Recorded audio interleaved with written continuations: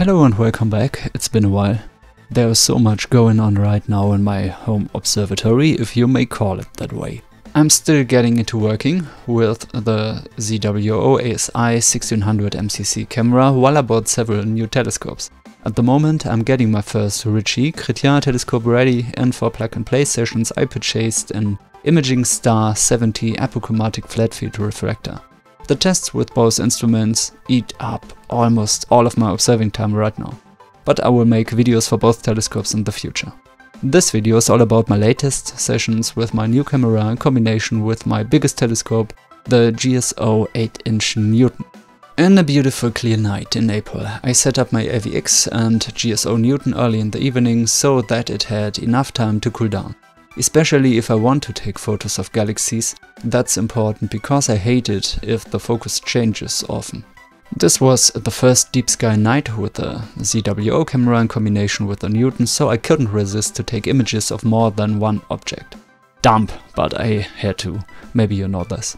My shots of M97 and M63 were quite okay in relation to their short exposure times, but I collected almost 2 hours of light of M64, well known as the Black Eye Galaxy.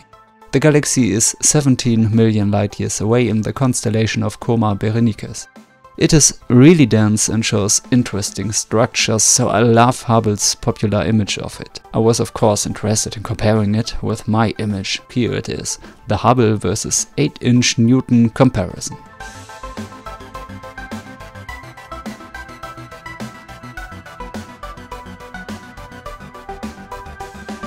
I really love taking photos of small DSO objects. That's why I'm busy in learning how to use RC telescopes at the moment. I purchased a 6 inch RC to find out whether I can handle that kind of telescopes. I'm familiar with Newtons, but always read how difficult it should be to collimate RCs. I'm not really sure whether I made that right so far, but I need more clear nights to find out whether the big stars in this test image of M57 are a result of the high focal length, bad guiding, bad seeing or simply bad collimation. We'll see.